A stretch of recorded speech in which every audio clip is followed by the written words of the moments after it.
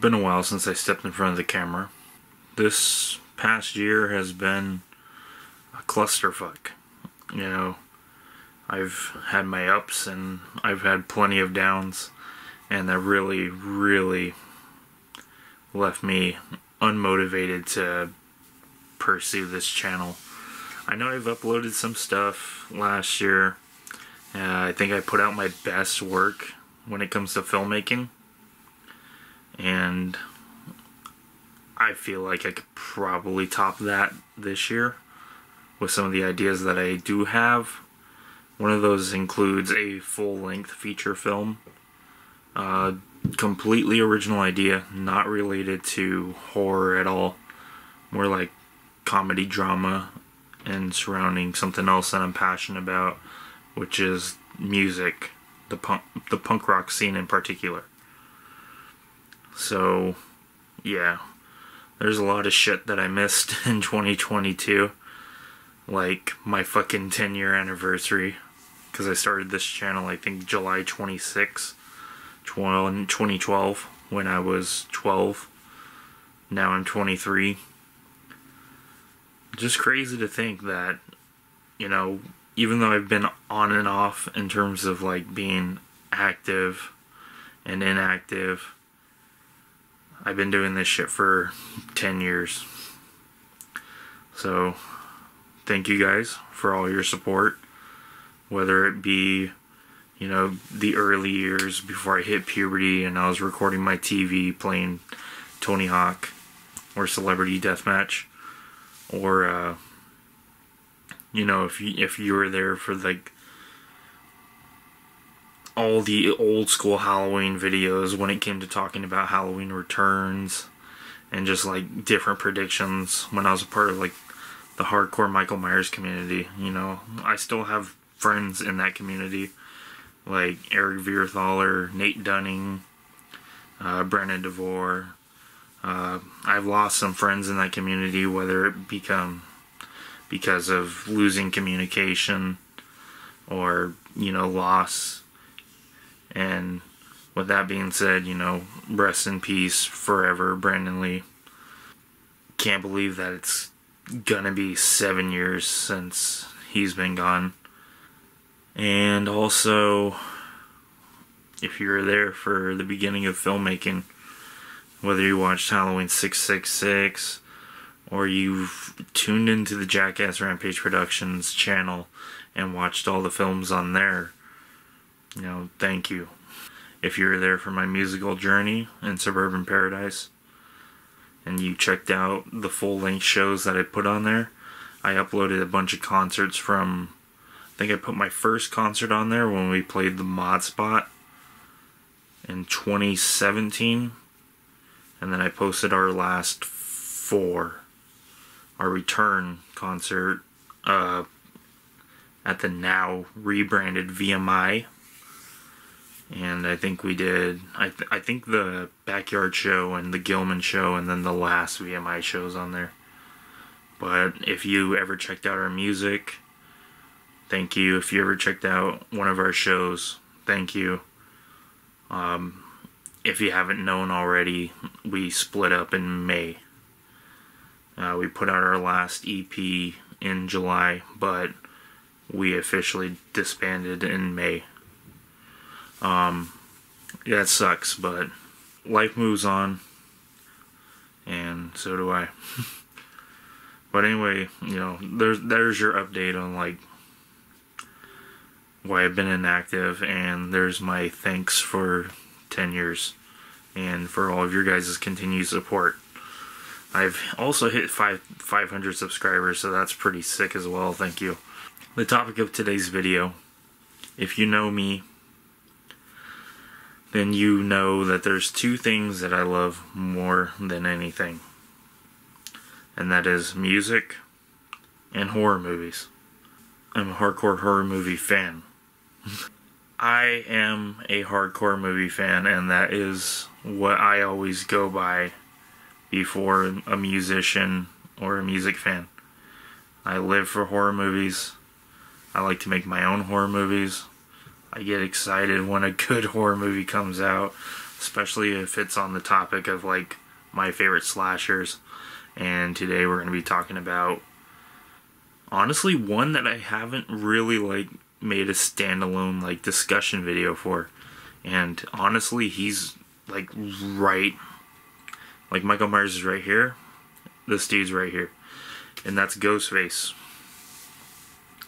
I've been a Scream fan probably just as long as I've been a Halloween fan. Maybe might even predate that if I choose to count Scary Movie because that was the first one I saw. Um, but I've always loved Scream. You know, I was 11 years old when Scream 4 came out, and I never got to see it in theaters. But as soon as it came out on DVD, I begged my dad to take me to Kmart. Remember when Kmart's were still a thing? And uh, picked up a copy, watched it, and fucking loved it. When Scream 5 came out last year, I was so excited to see it. Uh, I didn't catch the early screening like I did with all the Halloween movies, but I made sure the next day I caught that first showing. And yeah, the first one is, in my opinion, just as good as the original Halloween, just as good as just as good as like any of the other like highly acclaimed horror films. And it's a very important film too because it really reinvented the genre when it was dying. So i think we owe a lot to that movie. Because who knows where horror would have been now if scream never got released and then started a whole like plethora of knockoffs. Um, yeah i love the original scream i love scream 4 and I love Scream 5. Those are my top three. You know, nothing against 2.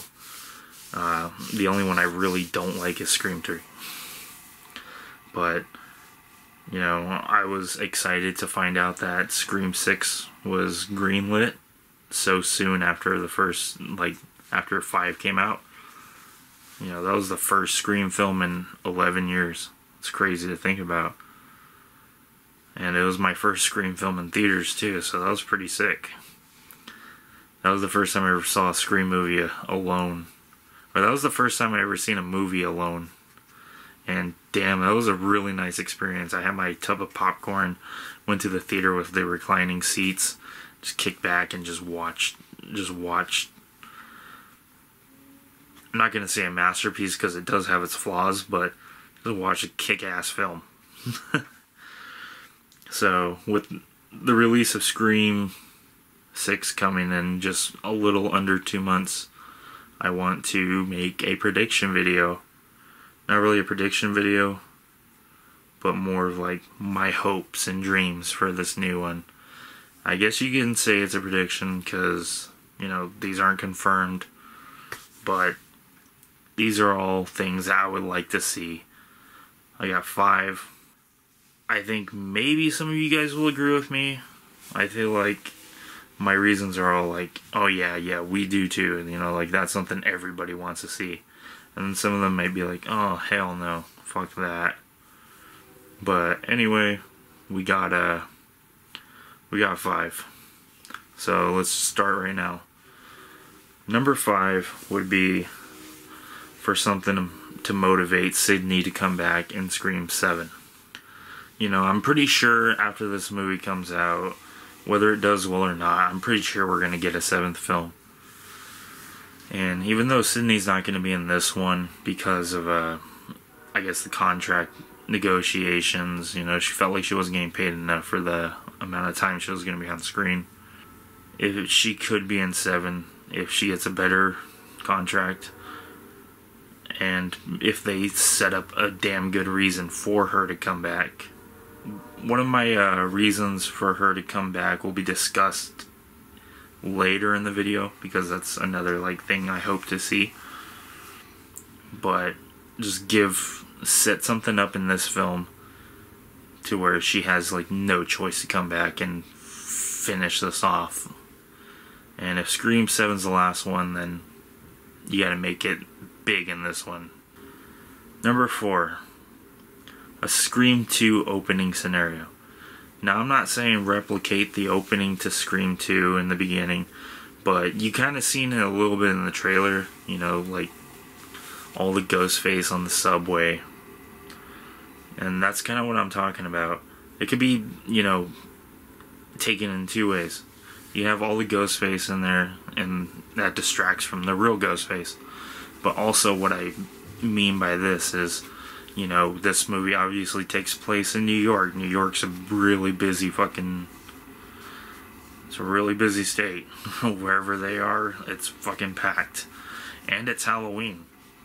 So while everybody's like in their costumes, they're probably drunk, on drugs. Uh, Ghostface could chase one of the uh, one of the characters down and fucking kill him in public, and people would probably think it's a prank. You know, I think that would be amazing, and I really hope to see that. You know, because like they said in the the tagline, in the city of millions, nobody hears you scream. So I'd really like to see a death in public, and that's what I mean by like the Scream Two opening scenario. Number three, this uh, leads into number five, and that is a previous movie survivor dies. And I am still pretty bitter over this. Uh, Dewey dying in five. You know, I really thought that it should have been Gale. Honestly. So, what better motivation to give Sidney to come back than Gale dying? And then Sidney can find out, and that just drives her over the edge, and she has to come back and like finish this once and for all. You know, I feel like I feel like Sam dying or Tara dying, like she didn't know them that well. She only knew them like for probably a couple hours from the last movie. So I don't feel like them dying is like strong enough motivation for her to want to come back. Um, I don't know if it would matter that much if Kirby died, but I don't know. However, it plays out, if it plays out, we'll see. But I feel like Gale dying would be the perfect motivation for Sidney to want to come back and try to defeat Ghostface. Number two. One thing that we've heard many times in the interviews is that this movie is going to be 100 times gorier than any of the previous past, like any of the pre- previous films. So I thought, why not get something that we haven't gotten yet in this franchise? Besides the MTV show, a head decapitation if you're saying that this movie is the goriest of the of the franchise, why not cut somebody's head off? You know, like you seen that you seen that scene in the MTV show where Bella Thorne sitting in her pool and then her boyfriend's head gets thrown in the pool. Fuck that. Actually show somebody's head getting cut off. You know, that movie will fucking that movie will have some balls if they do that. Scream 5 had some balls for killing Dewey off in a gory ass way. What's more gorier than the way he died? And I think that would be a head decapitation. Or like the fucking picture that got released or leaked, I don't know, of Ghostface holding a shotgun. Have him blow somebody's fucking head apart and show that shit. That would give that movie some fucking balls. But uh yeah, we haven't gotten a head decapitation in, in any of the movies. So like this one could be the one to do it and solidify itself as the goriest movie in the franchise. Number one, the killer escapes. Now I'm almost certain that there's going to be more than one killer in this movie, and I am on that. I am on that train that Stu's probably going to be one of them. So you you can. I'm guessing there's going to be three, mainly because the pictures that we've seen all of them have three different masks. So, why not have one of them get away and the other two can die? And that can set up the seventh movie. And the motivation that Sidney has to come back. What if when the killer reveals himself, it's Stu? I know everybody already predicted this, but these are things that I hope to see in Scream, uh, Scream 6. So, that's pretty much it.